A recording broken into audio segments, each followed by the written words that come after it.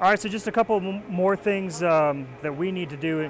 Uh, it calls for the typical Navy, uh, the Navy fire, the flame-resistant flashlight. So I'm just using the the, the normal DC uh, helmet light or the Pelican light. But what I did do is they normally come with a strap, and a lot of a lot of the flashlights that the sailors are going to carry with them have their own lanyard on them.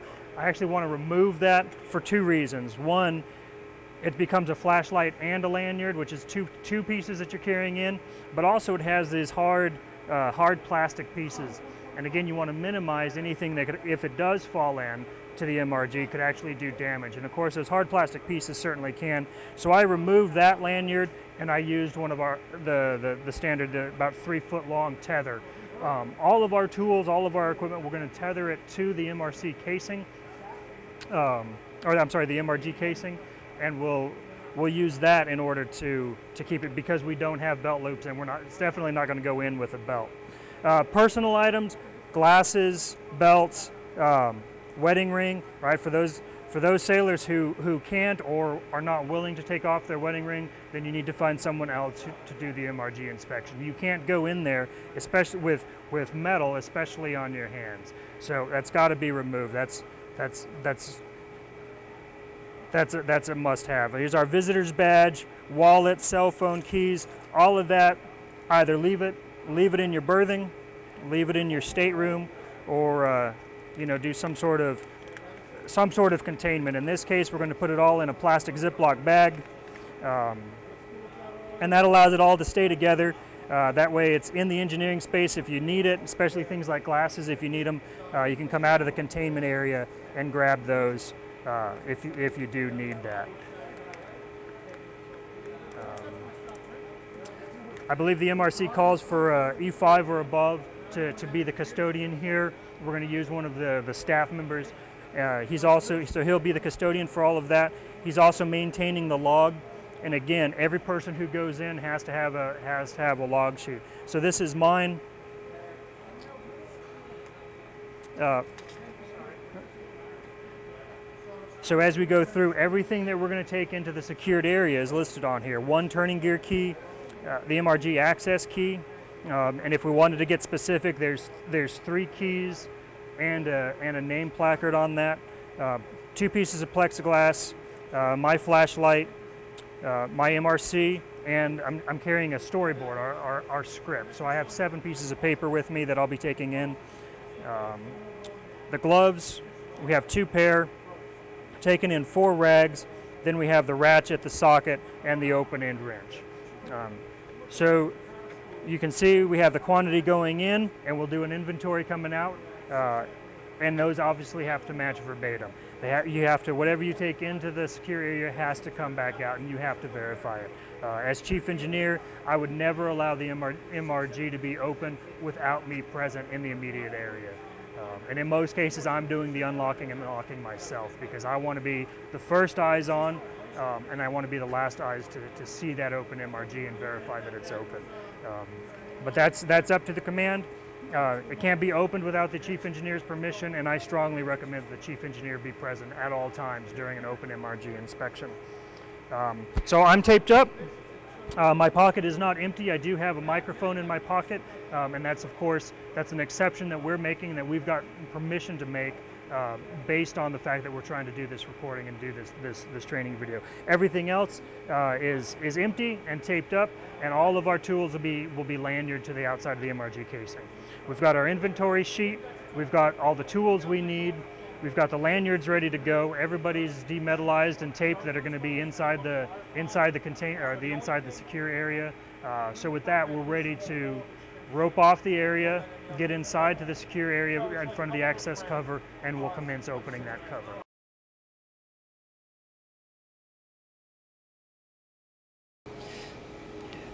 All right, so what we're going to do is we're going to wrap up uh, with the inventory, the final inventory. We've pulled everything off of the MRG. Um, we have it all piled here, but now we have to mark it against the, the inventory so that we know that everything that went into the containment area has, has been brought out.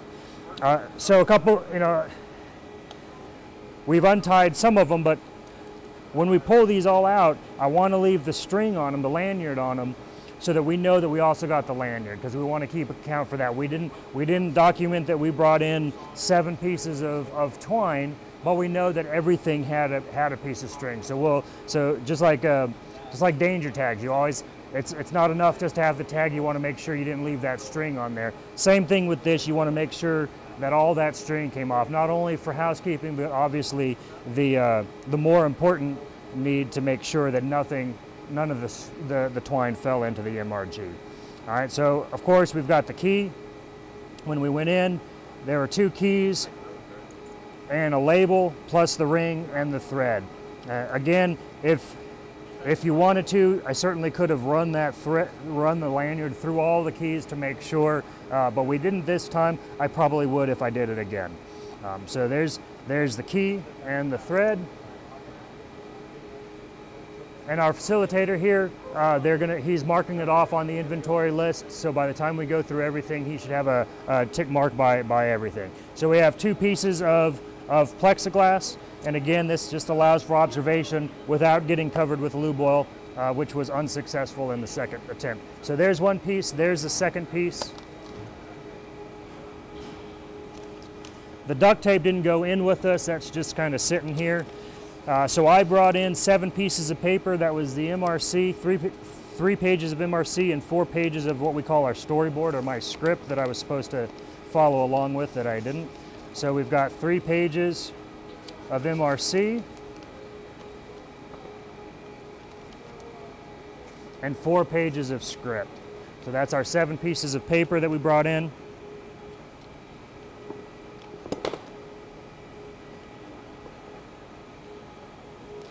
And of course my strings are getting tangled up here.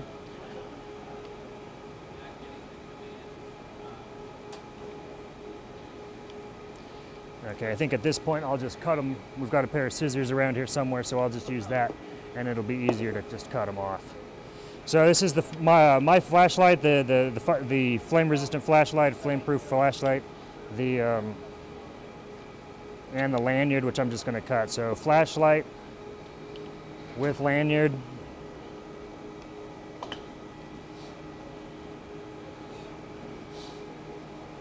And again, there's no sense in putting your tools away covered in oil. So this is the end wrench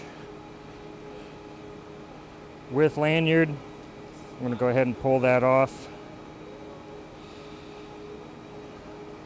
Again, that heavy duty riggers tape or duct tape, whatever you're using, it makes it harder but it's pretty cheap insurance against this twine slipping off or especially when they're oily like that. It wouldn't be very hard to lose this tool if if that hadn't been duct taped on there. So end wrench and associated lanyard.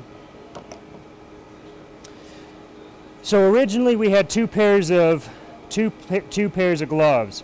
There were senior chiefs authorized mil spec 8 mil gloves one of the, one pair of those, and then I had the drugstore Steele from medical uh, cheap ones.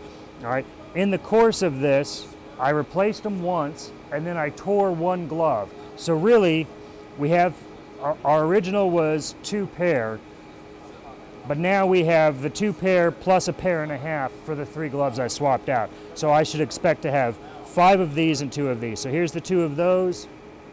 Here's one, two, three, four, five of the smaller ones.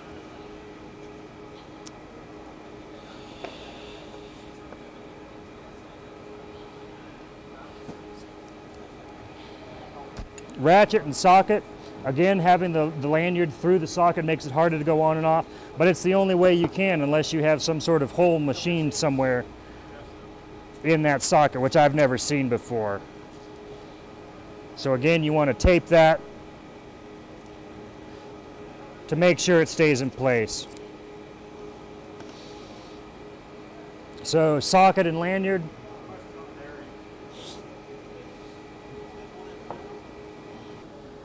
That should mark everything off of our inventory sheet. Anything left is his stuff.